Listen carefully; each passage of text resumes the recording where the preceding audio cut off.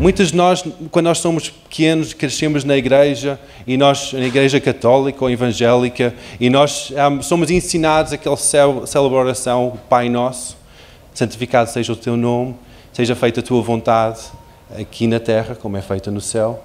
E muitas vezes nós dizemos essas palavras, mas não sabemos o, o peso que essas palavras têm. Talvez se nós pensamos um pouco o que é que para nós é o ideal do céu, o que é que para nós é a vida perfeita. Talvez vamos, vamos pensar e refletir um pouco acerca disso. Qual é que é a vida perfeita? Qual é que é o nosso ideal? É uma vida sem discussões, uma vida sem dívidas, uma vida sem doenças, sem opressão, uma vida com algum rumo e algum propósito? Talvez. Talvez é uma vida com felicidade sempre, todos os dias. Quando nós pensamos na vida perfeita, nós talvez podemos ter algum deslumbre aqui que é o céu. E quando Jesus ensinava os seus discípulos como orar, ele ensinava esta forma de orar, de visualizar o perfeito, o céu, e chamar essa realidade aqui para a terra. Quando nós pensamos nisso, é inevitável eu lembrar um pouco da história toda da Bíblia. No início da Bíblia, todos nós sabemos que em Gênesis, o início de toda a criação, Deus começa a falar e explicar o que aconteceu no início de todas as coisas. Em que eu sei que há muitas teorias acerca de como é que é o início de todas as coisas. Mas aqui na Bíblia, e nós estamos a, numa comunidade cristã e estamos a falar acerca da Bíblia hoje, nós um, vemos Deus a explicar para nós o que, que é o início de todas as coisas. Gênesis 1 fala acerca de Deus criou a terra e em sete dias, ou sete passos, Ele criou a terra. E alguém estava a falar comigo, o Seth estava a falar comigo outro dia e a partilhar uma explicação um pouco diferente daquilo que eu estava a ver. E foi uma revelação para mim aquilo que ele estava a explicar. Eu queria partilhar convosco hoje alguns destes momentos e como é que isso é o céu na terra. Ao longo dos primeiros dias da criação, Deus criou céus, terra, noite, dia, animais, água. Ao sexto dia, Ele cria o homem. Forma o homem e depois sopra no homem. E o homem tornou-se um ser vivente, uma pessoa viva. Este é o sexto dia. E depois, no sétimo dia, em todos aqueles dias da semana, havia noite e dia, havia manhã e noite. E era o primeiro dia, e era o segundo dia, e era o terceiro dia. Mas chega ao momento do sétimo dia e diz na palavra que no sétimo dia Deus descansou. Agora, se nós acreditamos que Deus é um ser soberano, divino, poderoso, por que que Deus, todo-poderoso, precisaria de descansar? Depois de uma criação, ah, é uma criação enorme, criou todas as galáxias, a Terra, precisava descansar. Mas Ele é todo-poderoso, Ele não precisa de descansar. O espectro de, de poder dele é ilimitado. Ele não precisa de descansar. Mas a ideia de Deus ao criar a Terra e ao criar o homem e a mulher, foi para não, não ser igual aos animais ou à outra criação, mas era para ter um relacionamento, comunhão. O soberano, todo-poderoso Deus ter comunhão com humanos, homem e mulher. Então, o primeiro dia da semana é o sétimo dia. É o dia de comunhão, o dia de descanso. E foi tão engraçado, é que naquele dia não diz na Bíblia que houve manhã e tarde. E foi o sétimo dia. Porque aquele conceito que Deus quer do plano original, do perfeito, do utópico, é comunhão eterna conosco. Agora, nós todos sabemos que essa realidade não é muito compatível com a nossa realidade, com o que é que nós vemos neste mundo, porque nós vimos muita corrupção, muita maldade, Okay, se Deus é tão bom, tão é top criou céu e terra de uma forma tão linda, tão maravilhosa, por que, então há tanta corrupção? Eu, como pastor, eu sou confrontado com essa pergunta com tanta frequência.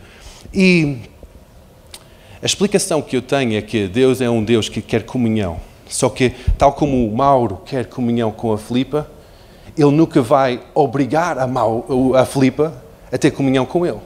Ele vai querer que a Filipa tenha comunhão de livre e espontânea vontade. Isso é amor, certo?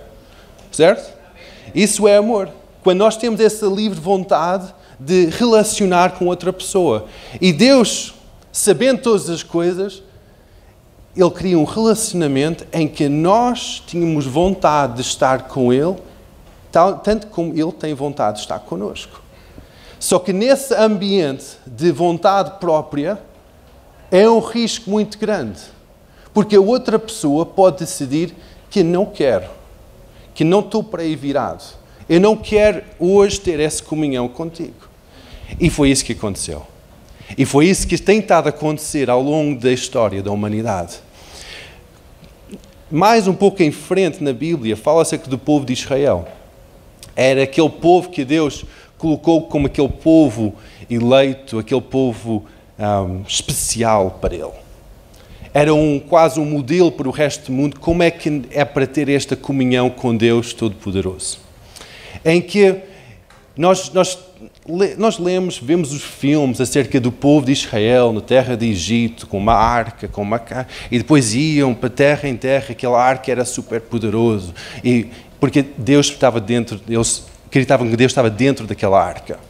Mas havia uma limitação, que só se podia ter esse, esse relacionamento com Deus Todo-Poderoso, simbolicamente dentro de uma arca ou uma caixa de madeira, mas era, era limitado daquilo que uma pessoa podia fazer para merecer essa comunhão.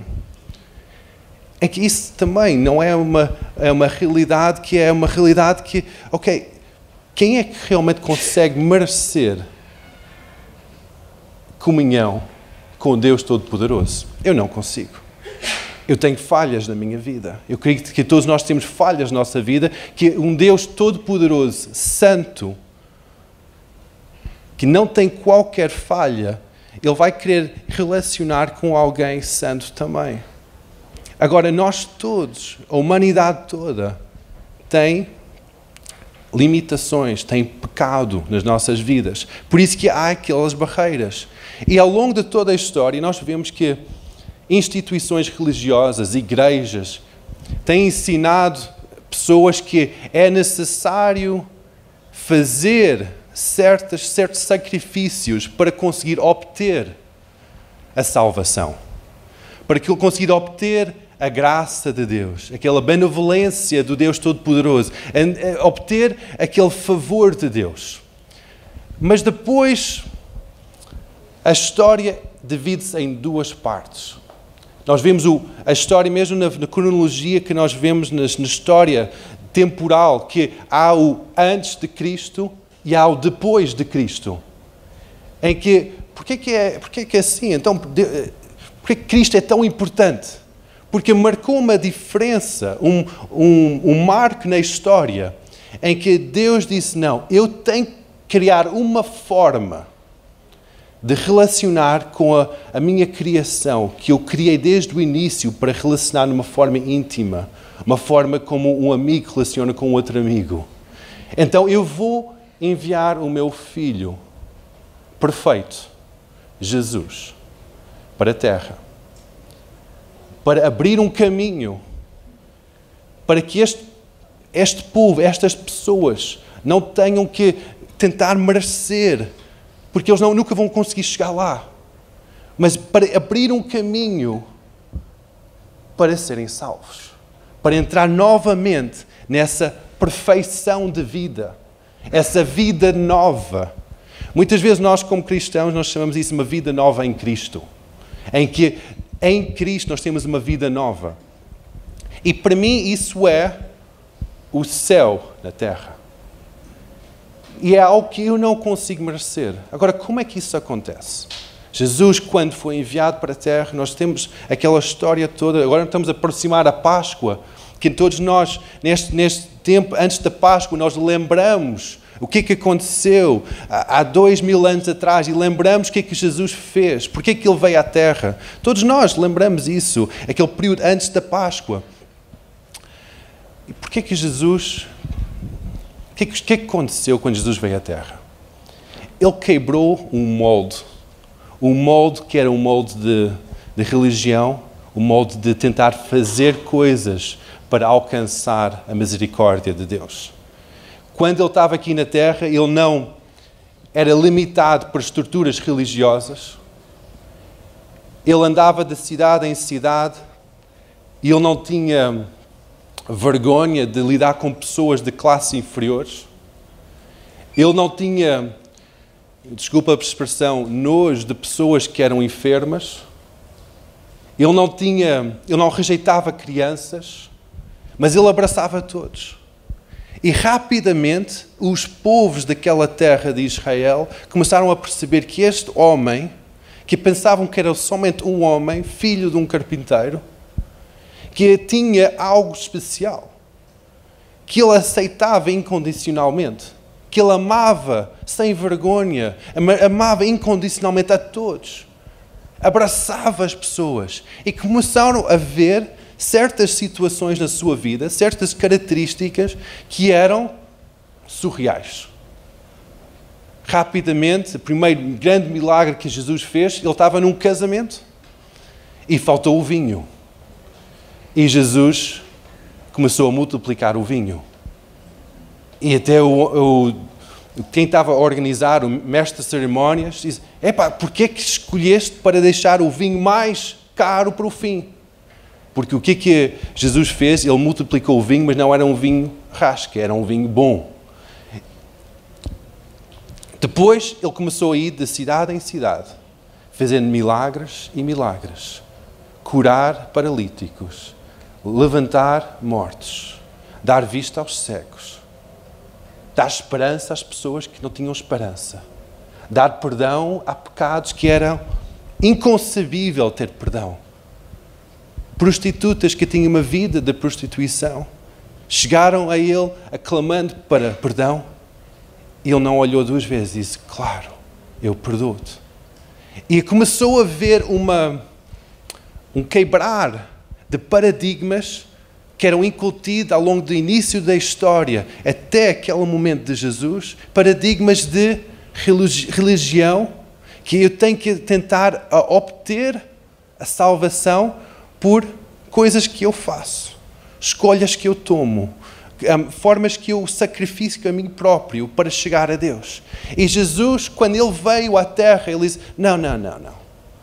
Eu estou aqui. E através de mim, todos podem ter este relacionamento com o Deus Todo-Poderoso, que desde o início da criação estava limitado. Jesus, na Páscoa, quando ele tinha a volta de 33 anos, deu a sua vida. Por que, que Jesus teve que dar a sua vida? Porque sem derramamento de sangue perfeito, não havia perdão dos pecados. Então, ele sendo Deus em carne e osso, Deus em forma de homem, ele teve que dar a sua própria vida para toda a humanidade para abrir o caminho para o perdão de todos os pecados. E quando nós vemos isso, nós vimos que há uma esperança. Há uma esperança para nós sermos céu na terra, para termos uma vida ideal. Mas então, como é que nós podemos ter essa esperança? A única forma é uma forma tão simples, mas tão difícil. Diz que temos que ter fé. Fé é uma palavra pequena, mas que transforma toda a nossa vida. Fé é acreditar no impossível sendo possível. É acreditar que Jesus morreu na cruz para os meus pecados e aceitar esse preço que ele pagou e aceitar que Jesus morreu para mim e aceitá-lo como Senhor da minha vida. Quando nós dizemos que venha o teu reino, seja feita a tua vontade, aqui na terra como é feita no céu, nós estamos a dizer: venha o teu senhorio como rei sobre a minha realidade e seja feita tal como esta realidade perfeita no céu, aqui na minha realidade terrena, que é imperfeita. Nós estamos a colocar-nos por baixo da sua autoridade. Estamos em fé a dizer que eu acredito em Jesus, o Filho do Deus vivo. Eu acredito que Ele morreu por mim. Eu vou entregar a minha vida para Ele. E quando nós fazemos esse pequeno, grande passo, nossa vida é transformada. Nossa realidade transforma. Eu tenho visto situações de vida, minha própria vida tem sido transformada dia após dia. Quando eu faço esta pequena oração, dia após dia, a minha vida é transformada. Eu tenho visto pessoas que têm vindo de meios em que estão viciadas em álcool, em drogas, em outros vícios. E quando eles fazem esta oração, Jesus, eu acredito nisto.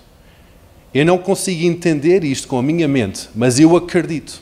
Qualquer coisa em mim testifica, qualquer coisa em mim diz, ok, isto é que eu quero.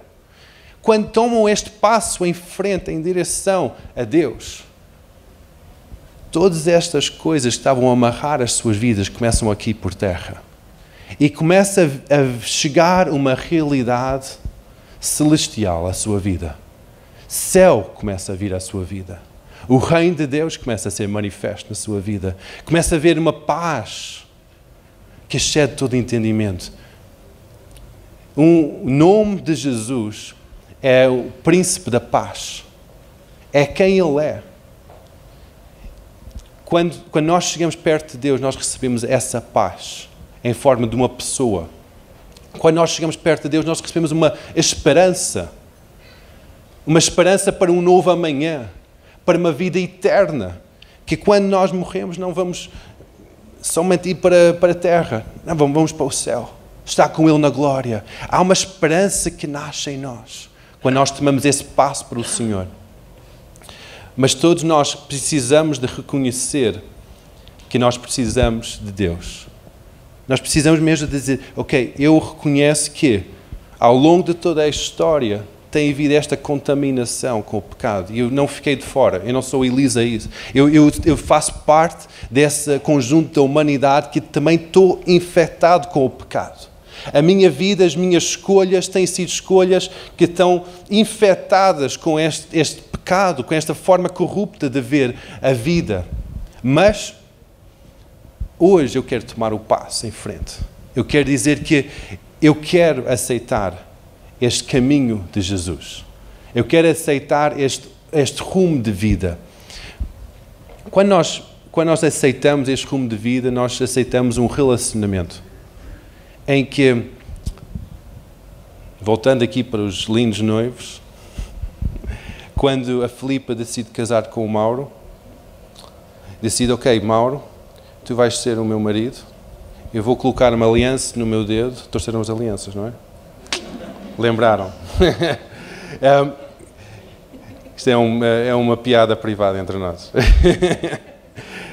quando, quando diz, ok, Mauro, tu vais ser o meu marido. A Filipa não idealiza ter o Mauro ter outras mulheres. A Filipa idealiza que o Mauro seja somente dela. Que seja somente coloca aquela aliança no dedo e ele não vai olhar para mais mulheres. Ele vai somente olhar para Filipa. E é a mesma coisa que quando nós estamos a decidir tomar este passo em direção ao Senhor, a Jesus. Nós dizemos que assim eu acredito, eu creio, eu quero tomar este passo em direção a Deus Todo-Poderoso, eu estou a colocar uma aliança no meu dedo. Mas ao mesmo tempo, tal como num casamento perfeito, nós, nós começamos a ficar com a nossa visão com, com de lado. Só focamos no Senhor. Por isso que nós, tantas vezes, nós começamos a ter uma outra forma de viver. Porque as coisas que davam-nos prazer anteriormente começam a não dar prazer. Porque nós estamos focados num novo rumo da nossa vida. Nós estamos focados em dizer: Deus, ok, eu quero largar todas essas outras coisas. E eu quero seguir um caminho contigo, sendo aquela pessoa, aquele relacionamento mais íntimo, mais puro que eu vou ter. E quando nós estamos a falar num casamento, isto faz todo, todo o sentido. de reafirmar a nossa vida com o que é aquele amor mais perfeito, mais profundo do nosso ser. Tantas vezes nós tentamos preencher as nossas vidas com outros prazeres, com amizades, relacionamentos, diversões, música. Tentamos preencher um vazio que está no nosso coração. Mas Deus criou-nos de uma forma fantástica, em que aquele vazio só pode ser preenchido com Ele, com um relacionamento divino, porque nós somos criados em Gênesis, diz que Deus criou o homem segundo a sua imagem e segundo a sua semelhança. Foi uma fotocópia de Deus. Foi uma, que eu vou fazer um modelo. Este homem vai ser um modelo de mim, vai, vai fazer parte de mim. Então nós temos aqui um vazio no nosso coração que só é preenchido com Deus. Tantas vezes nós tentamos preencher com tanta coisa. Ah, estou a sentir fraco, vou tentar eh, preencher-me com uma comédia ou uma, um filme da motivação. Eu vou passar tempo com os meus amigos, vou beber uma bebida. Nada disso vai preencher o vazio que nós sentimos no nosso coração. Aquele vazio mais íntimo, quando nós estamos na nossa, na nossa cama, pomos a cabeça no nosso travesseiro e dizemos, ok, ainda sinto aquele vazio. Ainda sinto aquele vazio. Muitas vezes rapidamente ligamos a televisão rapidamente agarramos em qualquer coisa, telefonamos um amigo, ah bora lá, vamos lá. É tudo para preencher um vácuo cá dentro. Que aquele vácuo só tem um nome, que é Deus. Só tem uma, uma pessoa que consegue preencher isso e é ter um relacionamento com Deus através de fé na obra que Jesus fez. Não vou alongar muito mais, mas eu convido-vos a ficar de pé e vamos ter uma pequena palavra de oração. Ricardo, podes ajudar?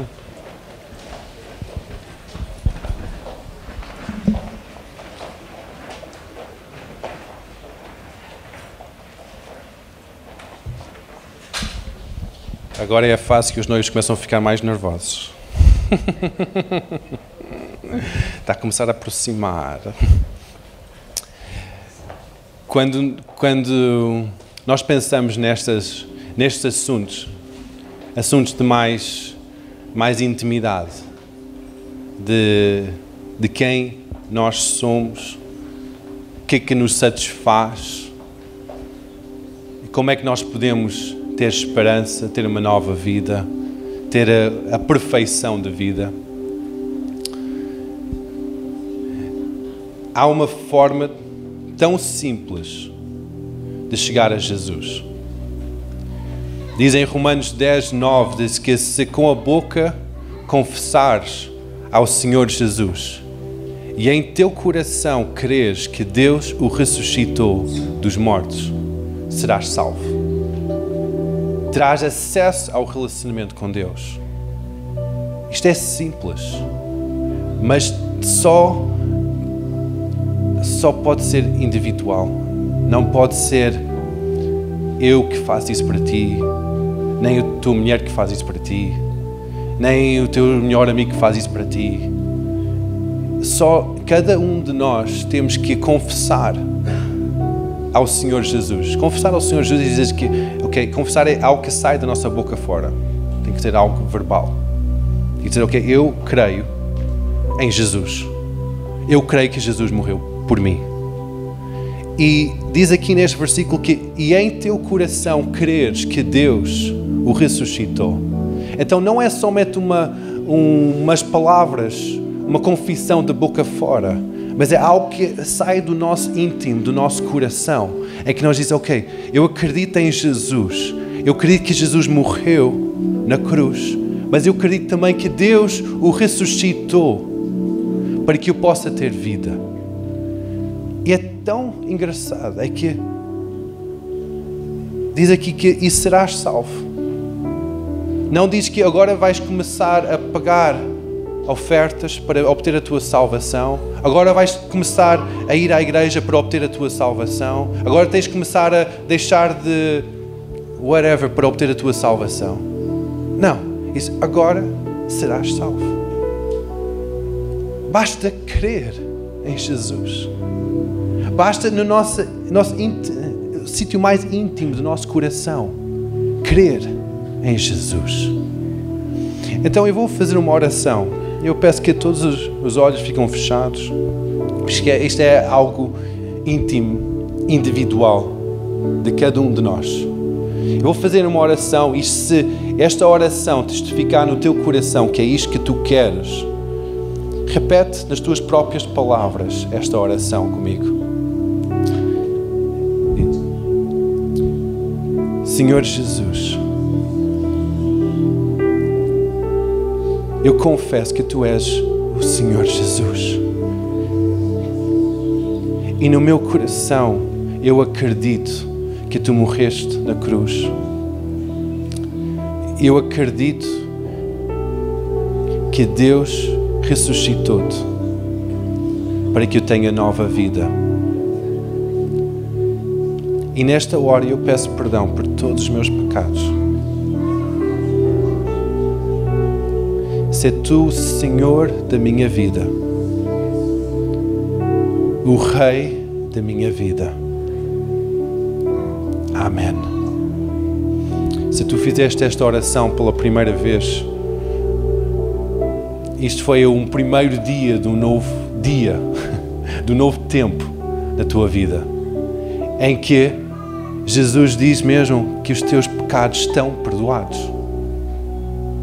Se tu fizeste esta oração de pedir perdão dos teus pecados, confessar Jesus como o Senhor da tua vida, Jesus próprio diz para, tu, para, tu, para ti hoje de manhã que estás perdoado. Que toda a culpa que sentias, que todo aquele pecado que carregavas, toda aquela ofensa, aquela, aquele peso que carregavas, está perdoado. Jesus não te vê mais como alguém pecador vê-te como um filho de Deus. Tal como nós cantamos hoje de manhã, Deus é um bom Pai. Ele vê-te como um filho de Deus. E por isso que se, se tomaste esta decisão pela primeira vez, eu quero dar os parabéns. Porque é, é quase como o vosso aniversário. É um novo dia, uma nova vida, um novo tempo para vocês. E eu acredito que tudo vai começar a mudar. Se tiverem perguntas acerca deste passo que estão a tomar, há a congregação aqui que qualquer uma destas pessoas estão aptas para ajudar-vos nesta caminhada.